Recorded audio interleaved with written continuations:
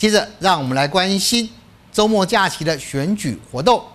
深耕地方二十多年的瑞穗乡长候选人陈廖安，这次要将监督乡镇的经验转为施政的能量。十三号的上午举办了乡长竞选总部的成立大会，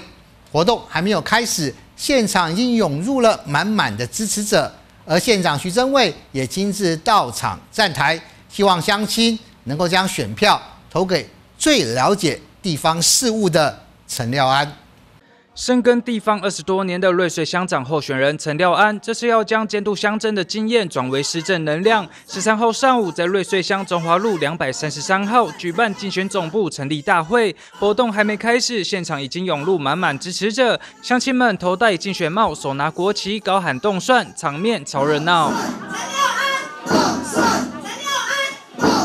花莲县长徐增卫也亲自到场站台，并为瑞士乡长候选人陈廖安及其夫人披上竞选彩带。我们需要一个处事圆融的乡长，我们需要一个对于乡务还有对于乡里面的所有的族群文化、历史、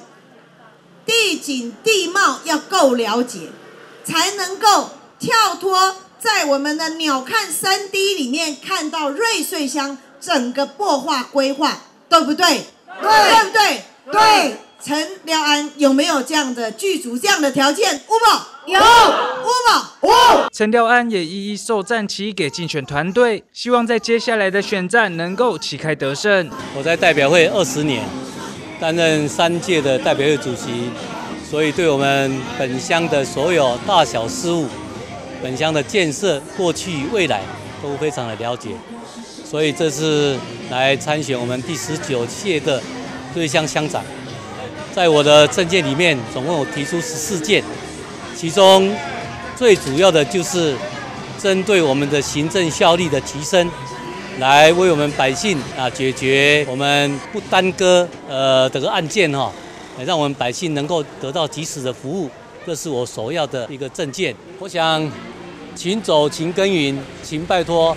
这是每个候选人的必须要的条件。在未来的十三天，我也会继续来拜托我们的乡亲给我支持，并且来宣扬我的政治理念，获得他们的认同。我想，如果乡亲可以认同支持我，让未来瑞乡能够更进步、更发展。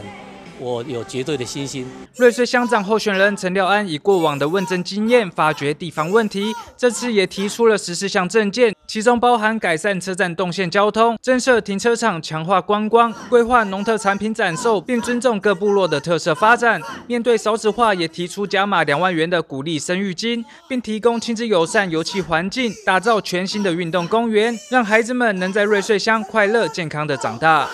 记者徐立琴瑞穗乡报道。